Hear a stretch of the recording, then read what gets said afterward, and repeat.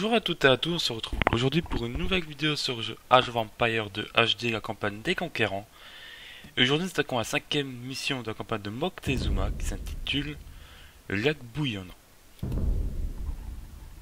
Temok, empereur de Tenochtitlan, parle. La mort de Moctezuma a encore attisé la fureur de mon peuple. J'ai alors décidé de mener personnellement l'attaque contre les Espagnols. Les prêtres m'ont dit qu'il en devait être ainsi. Désormais, j'étais l'empereur du peuple aztèque. J'ai pris place sur le trône Ikpali, et la coiffe d'empereur a été posée sur ma tête. Une couronne n'est jamais chose aisée à porter. Cortés ne s'était pas beaucoup éloigné de Tenochtitlan, tant ses hommes étaient ralentis par le poids de l'or qu'il nous avait volé. Alors qu'ils fuyaient sur les rives du lac, mes guerriers les poursuivaient en canoë. Envoyé d'autres hommes par la terre, car il était évident que Cortés tentait une retraite auprès de ses alliés dans le Tlaxcala. Nous avons rattrapé les Espagnols au nord du lac Texcoco.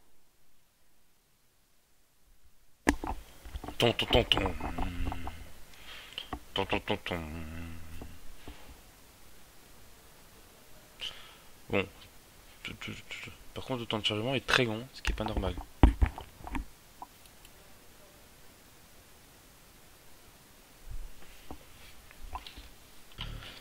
Bon, je m'excuse, a eu un freeze durant le chargement, donc j'ai coupé le chargement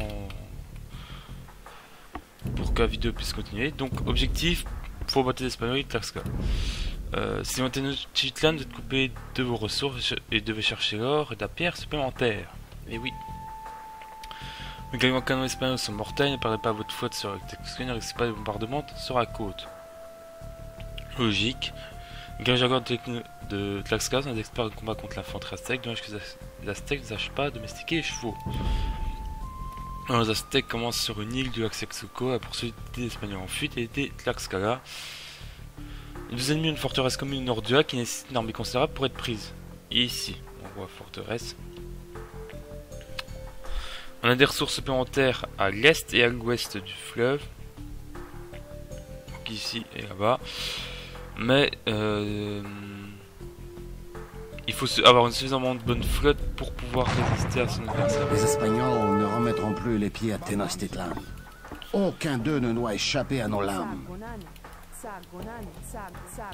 Alors, mon ordi va avoir un peu de mal parce qu'il y a une mise à jour qui se fait derrière pour euh, la vidéo, pour un autre jeu. Le problème c'est que je suis obligé de faire cette mise à jour si vous voulez avoir le nouveau foot cette semaine. Il y a des choses à l'est. Je suis jamais à l'est de cette map. Il y a que du bois à l'est. Dans leur hâte de s'enfuir, les Espagnols ont abandonné ces chariots remplis de poudre à canon.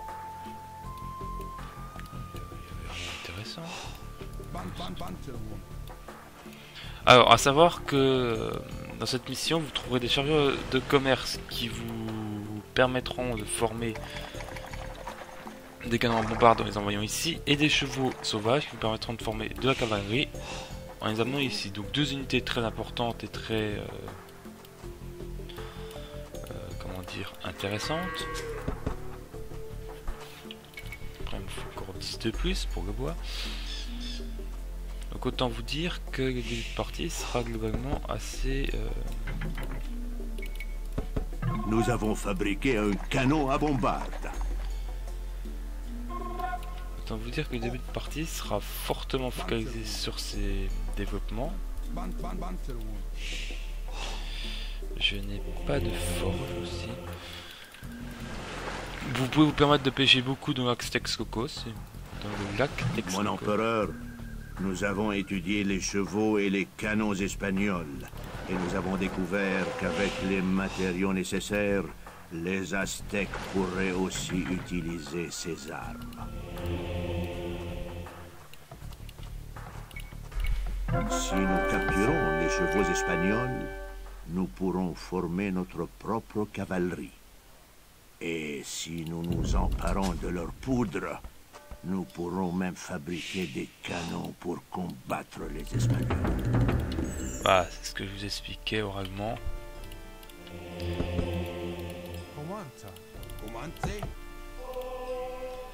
Donc voilà, je... Je vous l'ai dit oralement, voilà, j'ai pris un peu, un peu d'avance, j'admets. Mais voilà, c'était important que vous soyez au courant. Moi je vous invite ici à mettre 5 euh, villageois au bois euh, sur un petit bois ici. Et le reste vous en verrez pour le petit bois là. Euh, pourquoi ce choix? C'est pour que ce bois dure un peu plus longtemps en fait, uniquement. À savoir aussi qu'il y a beaucoup d'or, bon il y, a un, petit peu de ressources à gauche, on va pas se mentir. Mais le gros gisement d'or se trouve ici, sur sur cette île là assez proche quand même des troupes adverses, donc à faire attention.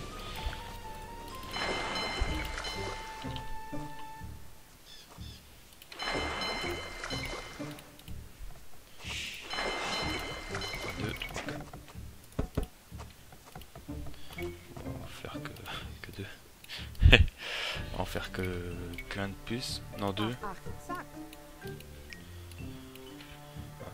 Et le bois, on va commencer à l'exploiter aussi. Pourquoi cette recherche là euh, Les navires d'attaque, euh, enfin les navires d'incendie seront une, les navires les plus importants euh, de votre flotte.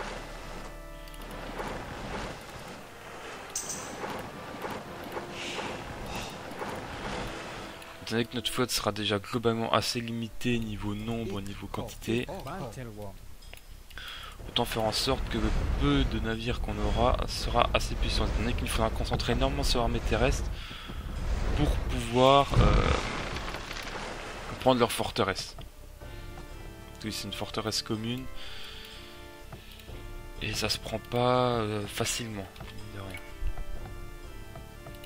Donc ici je vais faire une forge. C'est le bâtiment qui manquait à mon arsenal. Là c'est votre base militaire. Donc vous avez 4 casernes, 2 camps de tir à l'arc, un château. Autant vous dire, vous pouvez quasiment tout produire avec ça.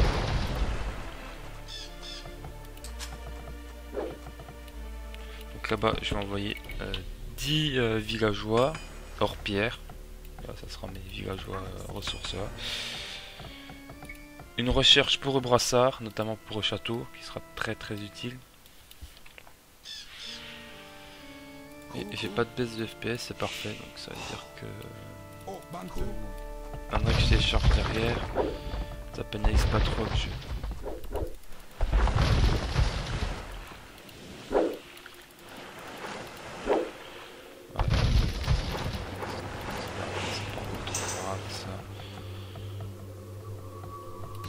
C'est fait. C'était une recherche.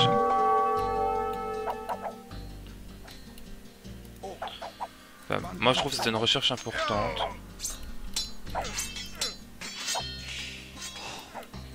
Après des personnes seront d'accord, d'autres personnes ne sont pas d'accord.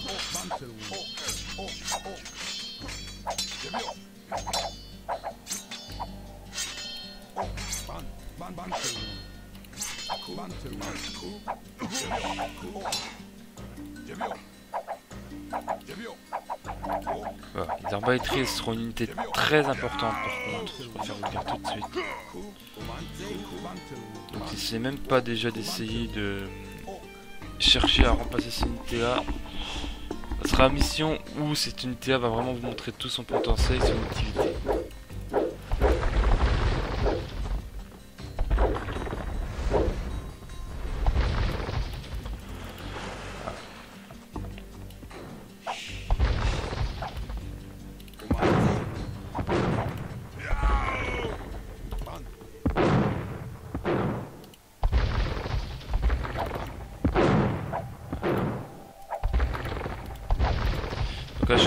Que la tour bombarde soit détruite. Parce que vous pourrez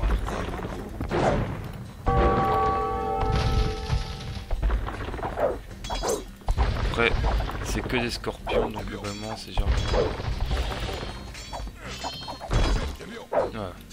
Alors pourquoi il me donne tant de maps? Pour cette tour capturer un cheval espagnol. Si nous le ramenons à notre citadelle, nous pourrons apprendre à le monter pour le combat exactement ce qu'il nous fallait. Donc ici, je vais récupérer de la pierre. Donc c'est vrai que je fais énormément de villageois en début de partie. Je vais pas, je vais pas mentir, hein, vous avez l'habitude à ça avec moi. Je me concentre peut-être trop sur les villageois, je dis pas le contraire. Hein. Stratégies ont des avantages et des défauts.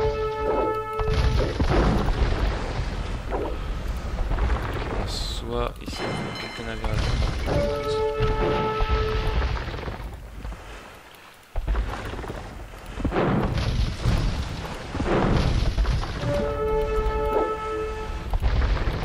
c'est assez important de gagner ces navires. Gagnant... Bah, vous comprenez pourquoi j'ai fait quelques navires d'attaque rapide, enfin navires d'incendie en plus. c'était pour les premiers raids. Donc ça c'est parfait, j'ai déjà mes premiers la cavalerie pour mon armée. Et je crois que c'est des chariots à poudre qui est un peu plus à gauche.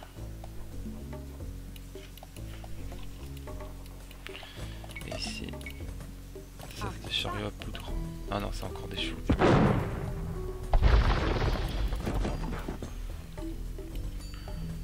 Donc voilà, il y a 10 cavaliers en plus.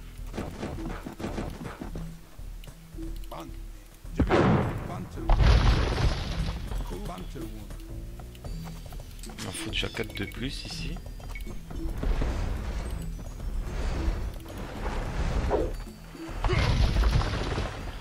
Alors niveau recherche, j'ai pas fait trop fait attention à ce que j'avais déjà. Ouais, il me manque cette recherche là, c'est ce que je pensais.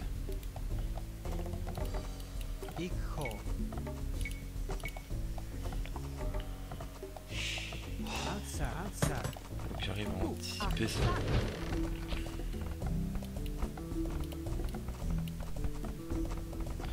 Voilà, comme vous voyez, j'exploite beaucoup de bois.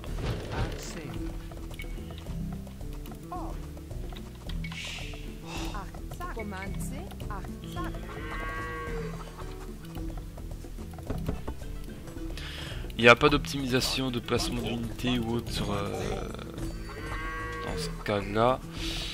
Euh, pour une raison très simple, il n'y a pas à place.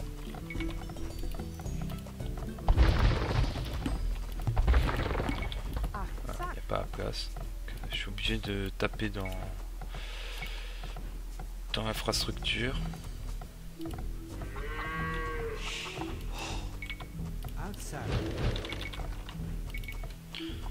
Ah, 12.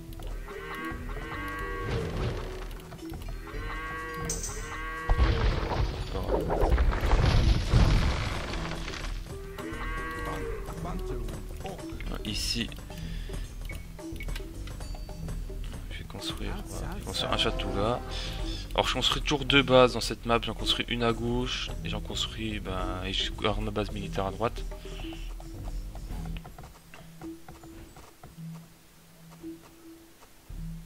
la nourriture commence à s'épuiser. Comme prévu, il commence à lancer l'assaut.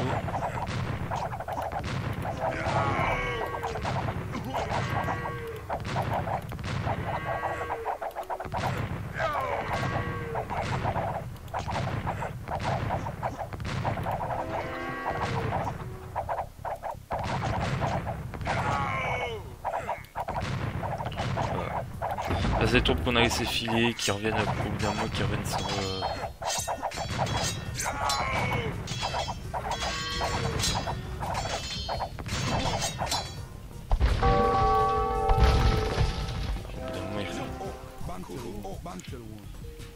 Voilà.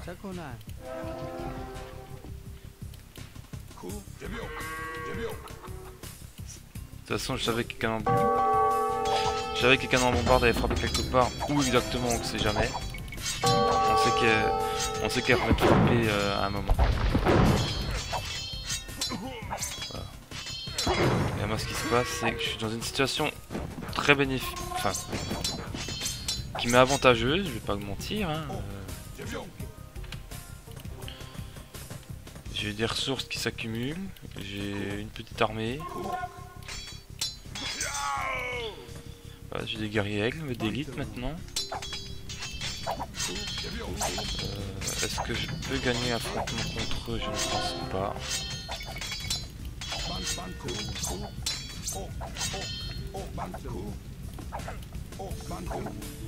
Très sincère, je pense pas que je peux gagner affrontement d'infanterie. Même si j'ai un bonus d'attaque. Avec le bonus, peut-être que c'est.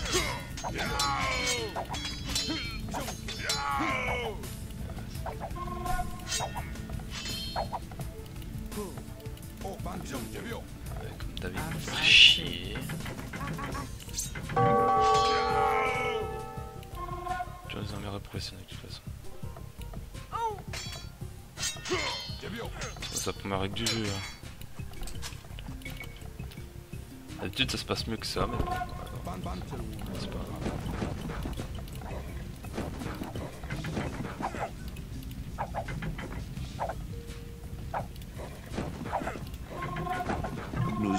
Un cavalier. Au début, je comprenais pas pourquoi c'était une 1, puis après, avec du recul, je me rends compte que c'est ultra logique.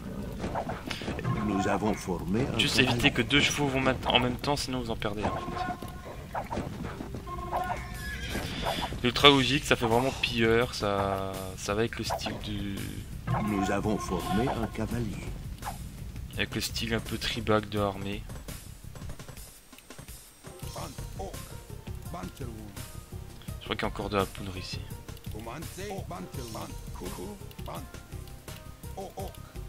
C'est un vieux dépôt de munitions espagnol. Ces chariots de poudre pourraient être utiles. Non, pour moi, le chariot de poudre, c'est pas utile du tout.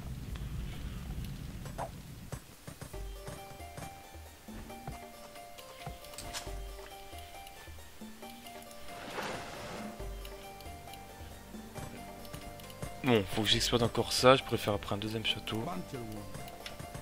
Il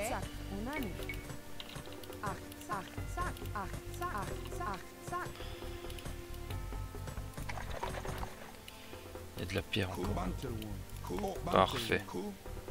Plus il y a de pierre, plus ça m'arrange. Donc là, il fait recherche guerrier avec d'élite avant de guerrier glorieux. Euh, guerrier jaguar d'élite avant guerrier glorieux parce que c'est plus efficace et plus efficient au niveau euh, économique actuel. Ici, on va taper euh, donc Taxkai en premier, mais il me faudrait un château en fait.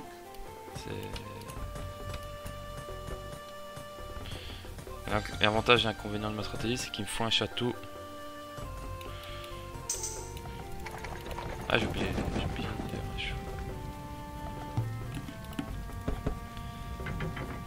Et je vous rappelle qu'on a médecine aux plantes, pour ceux qui s'en rappellent pas. normalement. Médecine aux plantes. Donc euh, vous pouvez facilement euh, soigner vos troupes de les bâtiments. Nous avons formé un cavalier. En plus de pas mal de PV, 150 PV. euh,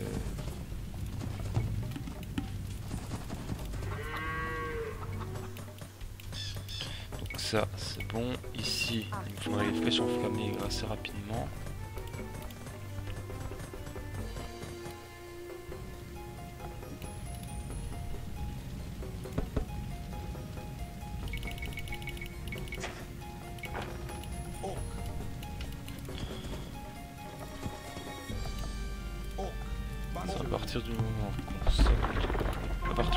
Qu'ils envoient des troupes d'infanterie, ça annonce rien de bon, ça va être unani.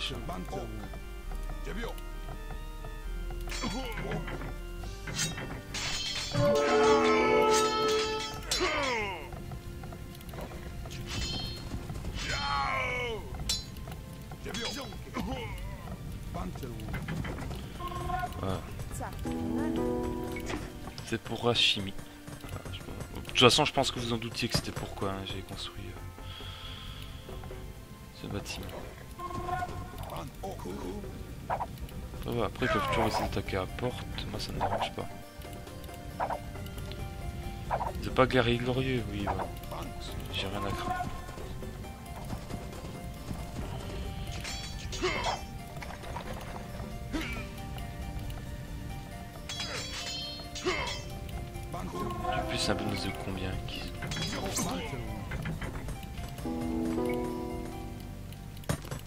Donc ici, on va faire ça.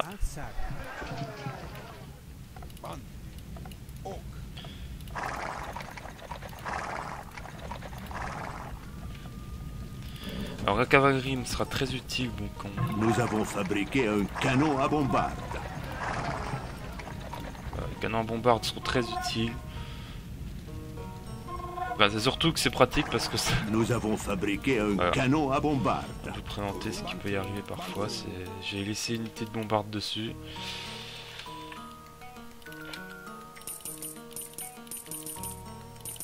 Voilà. On vend, je vends pour faire beaucoup d'or, c'est vrai. On avait un peu besoin, notamment pour quelques recherches. La recherche au fourneau, la recherche guerrier glorieux. Guerrier glorieux. Excusez-moi, mais on va fourcher. Oh, ces unités après sont largement capables de. Voilà, chimie accomplie.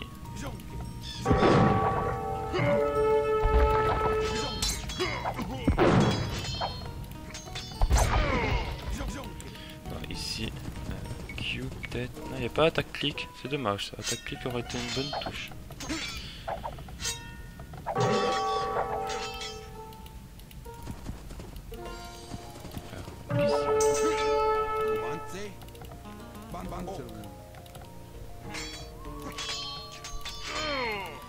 Voilà, 6 d'attaque. Bientôt 8 d'attaque, cette histoire.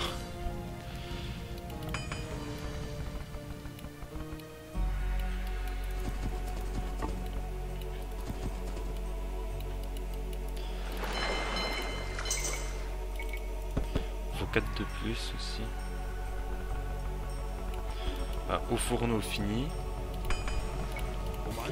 J'ai du 20 d'attaque avec cette infanterie. Comme prévu, ils arrivent. Donc je vais mettre mes arbalétriers dedans.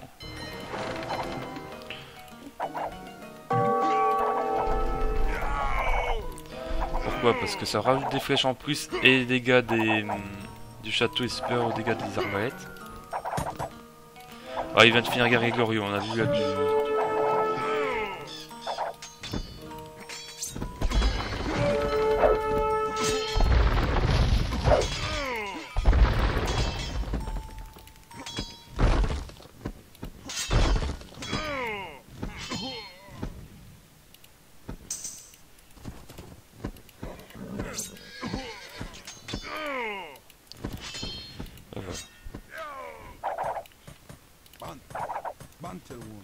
ça, j'ai quand même des,